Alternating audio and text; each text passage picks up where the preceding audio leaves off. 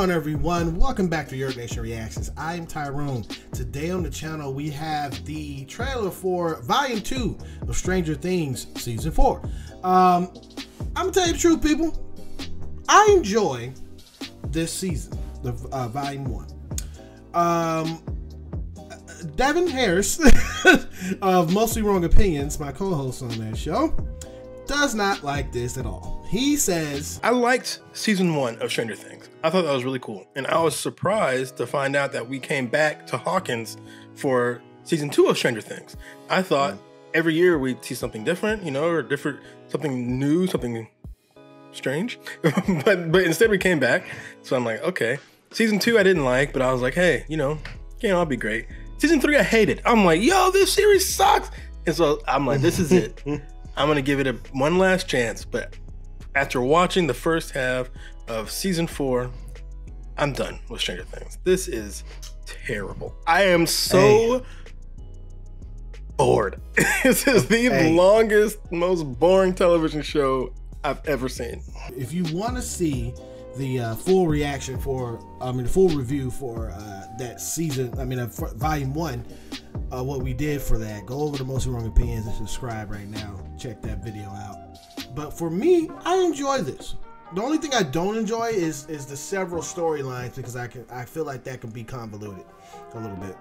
Um, but other than that, this this see this series I really do enjoy, and I do enjoy uh, this season so far because um, of uh, how intense it is to me and how close it is it is to to Freddy Krueger. Okay, uh, and Nightmare on Elm Street when it comes to the villain in my in my mind. I do like the villain. I like the villain uh, uh, and how he creeps into people's uh, insecurities and shame. I like it. Okay, so let's see what they got going on for Volume Two, which should be coming out July first. All right. I know you're frightened. You're terribly frightened by what you've seen but I'm not going to lie to you. Mm. Your friends are not prepared for this fight.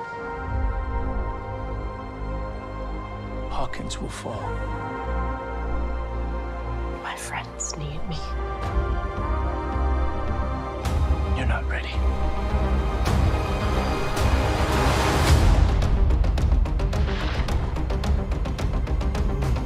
He's not going to stop. Not until he's taken everyone. He doesn't want everyone. He doesn't get power from everyone. Let's do it.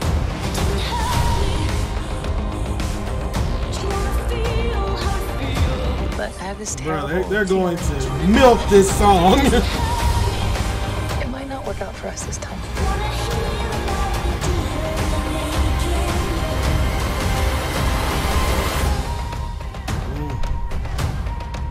It is over. Now I just want you to watch.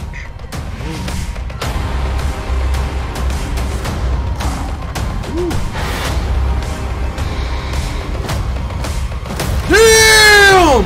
That's what I'm talking about, Lucas.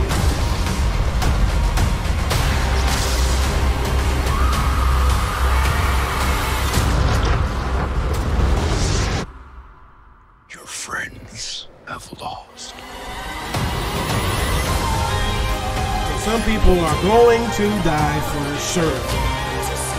For sure.